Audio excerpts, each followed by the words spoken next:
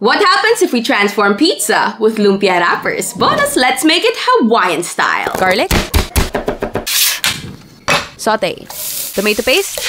Toast. Tomato sauce. Water. Basil. Oregano. Salt and pepper. Let cool. Prep your cheese. Sweet ham. Egg wash. Lumpia wrapper. Pizza sauce. Ham. Cheese. And pineapples. And close. Oh my god. Double wrap! Ang tugon, gorgeous! Fry until golden brown. This one is such a big boy. Parang doon pa ako pinagpawisan. It's holding up well. Oh, ang laki. Basil for our Italian friends. Hot sauce.